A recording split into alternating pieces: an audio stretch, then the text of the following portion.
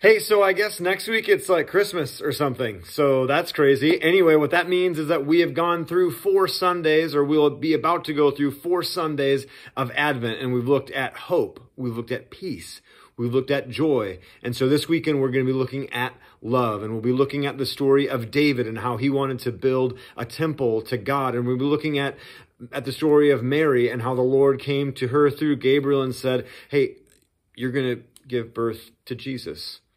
And we're going to be looking at, at the way that, that David kind of thought about and looked at and sort of his lens into his rule and reign. And then we're going to look at Mary and her responses and what that tells us about Jesus' eternal rule and reign. So join us here at 824 Laurel Street on Sunday at 10 o'clock or online at facebook.com backslash Communitas Church.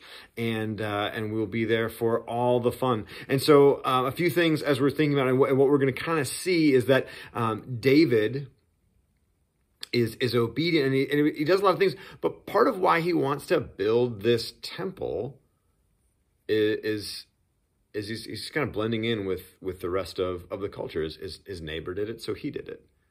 So he thinks like, well, if if it worked well for this Canaanite king to build this thing to this Canaanite god, then wouldn't it work well for me?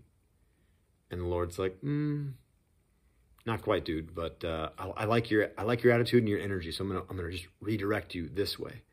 And then he makes this covenant, and he says, I'm gonna I'm gonna build on this this covenant, and and it's going to be eternal. It's going to be everlasting. There, there's going to be some some interruptions. It's going to look a little different. It's not quite going to be what you think it it was going to be all along, because I'm I'm an unexpected king. I'm building an unexpected kingdom.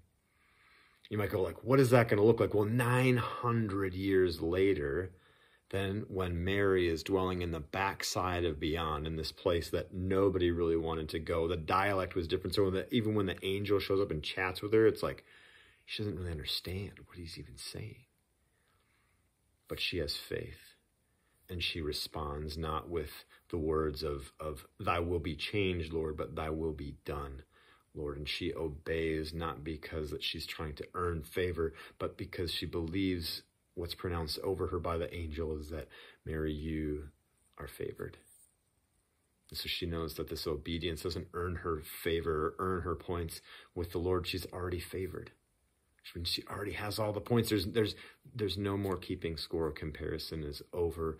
Communion and companionship with the Lord is in.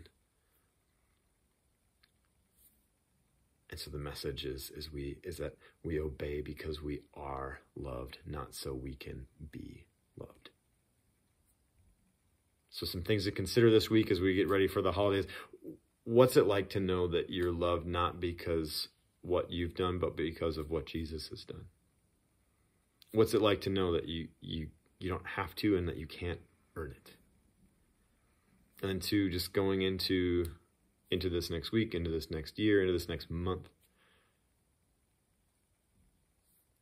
How will you love people in light of this truth? How will you love people in light of the fact that that the love that God has for you is not based on what you can do or what you've done, or what you can't do, or, or, what you won't do, or any of that, by Jesus and the cross, by his sacrifice and his service. And so, how does that begin to change the way that we view ourselves, view our neighbor, view the Lord?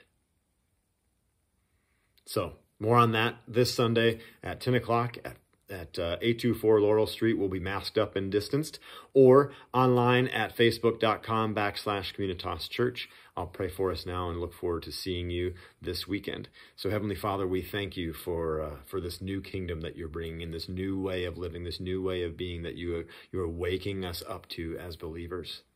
And Jesus, we thank you for your sacrifice and your demonstration of what it is to live a holy life. And so, Holy Spirit, we pray uh, that that like Mary, we would be overshadowed by your presence,